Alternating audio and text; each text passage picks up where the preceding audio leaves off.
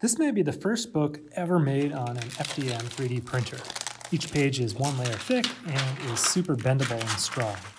Because letters have to be printed at a larger size to be legible, I wrote a novel, or you might call it a poem, for this unique format.